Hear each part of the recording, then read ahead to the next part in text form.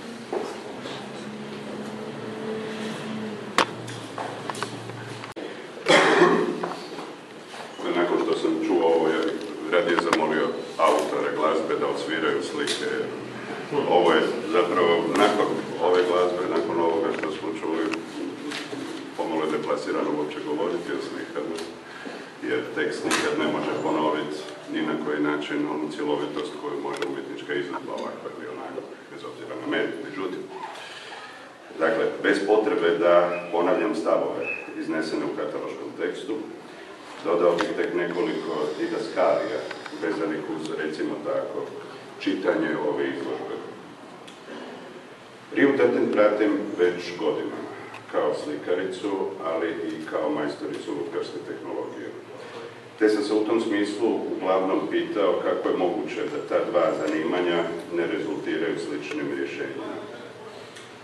Doista, Rija Trtin je, barem se meni tako činilo, sasvim drugačije pristupala slici i lutki kao fokusima svojih umjetničkih interesa.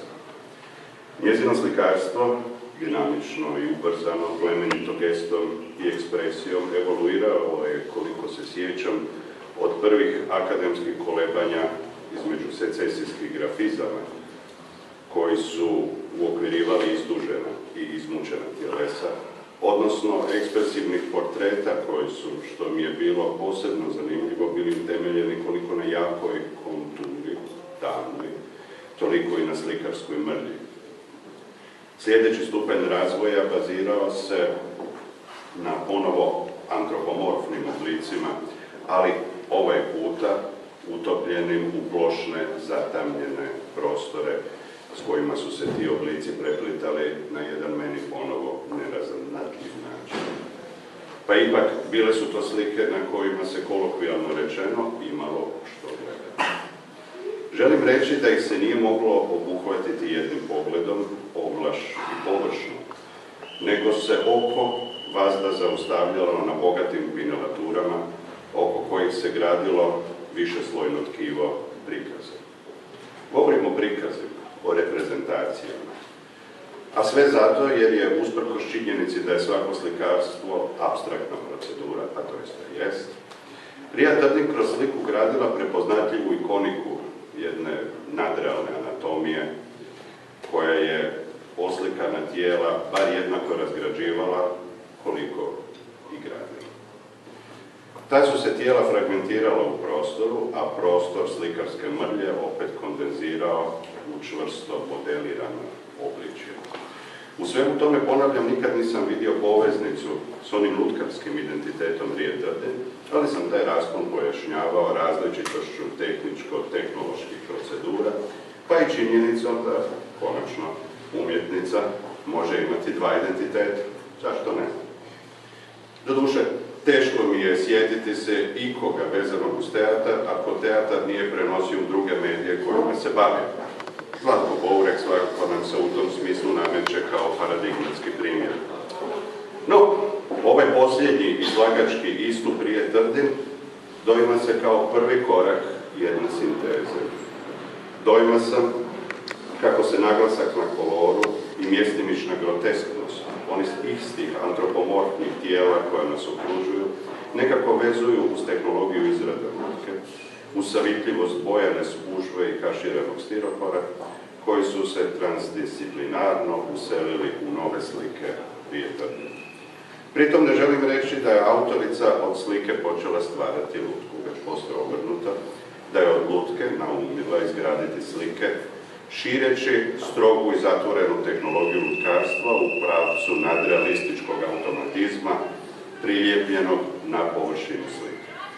U tom sam smislu u kataloškom tekstu spominjao kasnog Andre Masona, misleći pritom na, na konstantno revaloriziranje jednog grafičkog uzorka koji u procesu slikarske materializacije stalno oscilira između stanja ravnoteže i neravnoteže. Ravnotežu zadobiva kad se ikonički odredi u pravcu nekog vida tjelesnosti, da bi odmah potom pao u stanje neravnoteže, slikarske dezintegracije koja međusobno pretapa elemente ikoničke prepoznatljivosti. Mislim dakle da smo okruženi lutkama ili barem ikoničkim znakovima za lutke koje su pogubile taj svoj ikonički kontekst i pretvorile se u slikani tekst ili su bar taj proces pretvorbe započali. Prelaskom u drugi medij, u medij slikarstva, njihova se konstrukcija značajno promijenila.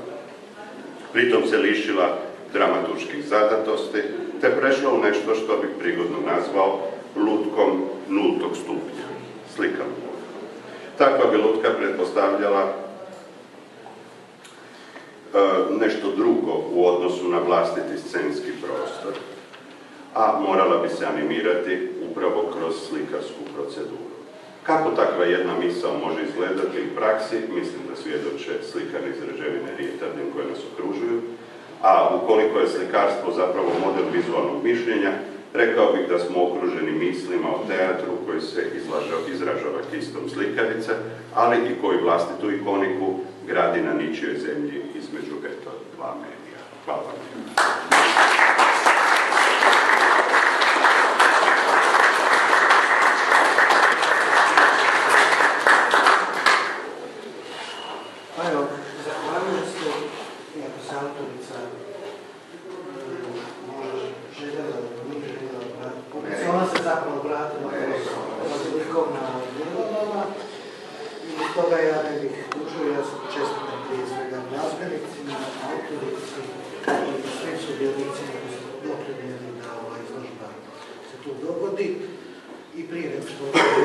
izložbu, e, pozivam vas na dobijenak i najavljujem zapravo sljedeću izložbu u galeriji koja će se dogoditi 9.6. ove godine i koja je indirektno vezana i za ovaj dobijenak, odnosno vino koje ćemo kušati jer evo Franjevačka galerija u širkom dijelu, gostuje 9.6. Evo, oni su naprijed nešto, nešto Buongiorno, buongiorno, buongiorno.